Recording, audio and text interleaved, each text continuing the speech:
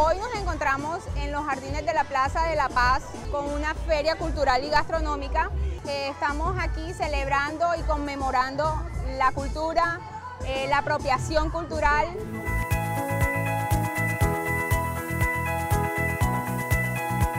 Me parece excelente porque es lo que hace falta. De hecho, la tiendita del sticker se abrió con ese fin, porque no había muchos espacios expositivos.